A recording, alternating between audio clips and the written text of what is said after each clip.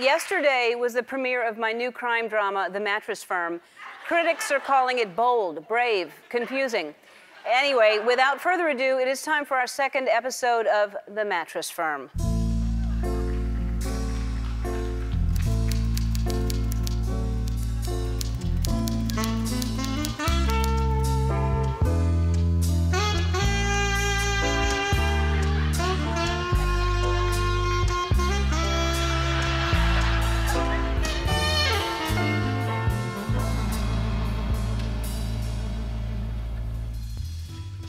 Listen up, see? Tell my bookie to go ahead and put another 200 bucks down on the damn Yankees. Not the team, the Broadway show. Uh, I, I got a scram, see? Sorry, I was just planning an ice cream social down at the church. There's no time to waste.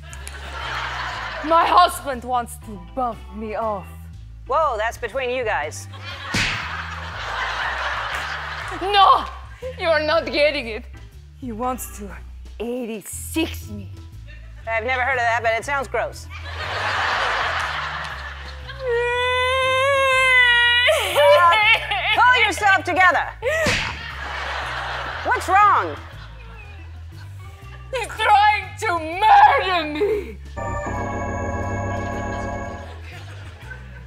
Hot diggity dog, now we're getting somewhere. You came to the right gal. My husband is after my inheritance. My daddy was Mr. Mucho Dinero, and I need somewhere to stash these. Wow, that's a lot of cabbage. Look at all this cabbage. And there's moolah in here too. So, can I trust you? Sure, dollface. Hey, you, you, look like you're about to faint. Why don't you you lay down right here on this mattress I got from Mattress Firm? Oh, okay. You can find a wide range of mattresses there, from firm to pillow top, that'll change your life, and all within your budget. This is really nice. And there are no lamps. No lamps. No lovely little lamps.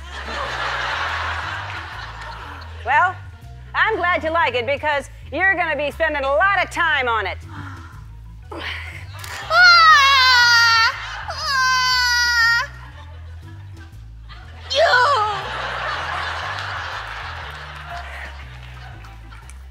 You double crossed me. Yeah, you quiet.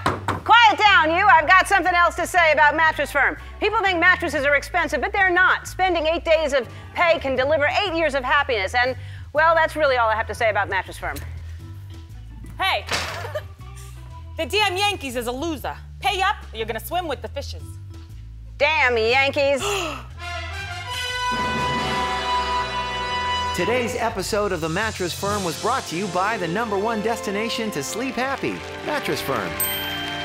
And Cabbage, the ugly lettuce.